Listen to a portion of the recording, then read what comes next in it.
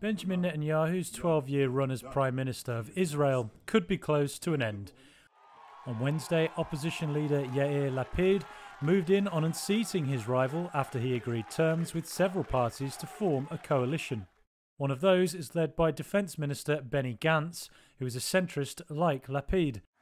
In a statement, Lapid's Yesh Atid and Gantz's Blue and White Party said they had agreed on the outlines of government. It's a blow to the Conservative Premier's chances of staying in power.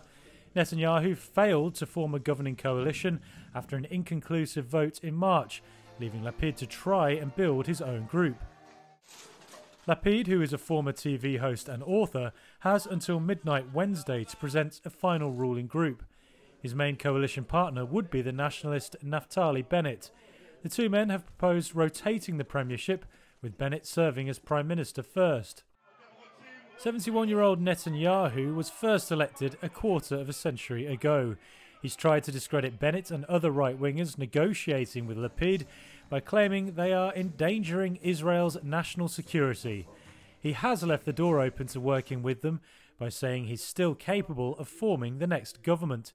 If Lapid misses Wednesday's deadline, it will mark the end of a 28 day presidential mandate to put together a coalition. Parliament will then have three weeks to agree on a new candidate. Should that fail, Israel will hold another election, its fifth in two years.